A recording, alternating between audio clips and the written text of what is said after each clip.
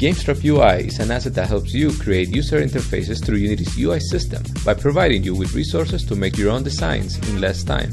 We offer more than 60 icons and 70 slice shapes and borders to help you create your own UI. We also include a complete UI example with three different screens for you to play with, and you can also check our demo in the links below. Now, one of the best features GameStrap comes with is the Toolkit. It allows you to assign colors, fonts, and effects to multiple UI elements at once. The kit has a smart way of assigning values. For example, if you apply a font to a game object, it will go through all of its children and assign the same font, saving you a lot of time. With the toolkit, you can get a range of color suggestions and also get some color schemes that can generate new ones based on color theory algorithms. Furthermore, you can even generate a palette based on colors used in a specific scene. That way, you don't have to start from scratch.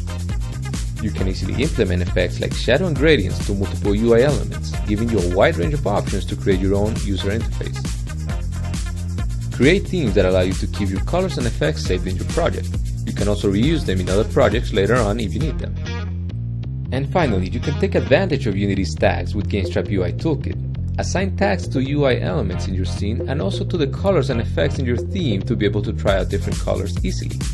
We provide you with an example so you can take a look at how it's done. It's pretty straightforward once you set the tags. Here's a list of examples we created to give you a glimpse of what you can start doing with GameStrap UI right now. Whether you're an indie developer, student, freelancer, or game studio, we believe GameStrap UI can provide you with the right tools for the job. We hope you enjoyed this video and if you're interested, please visit us in the asset store or contact us right away. Thanks for watching.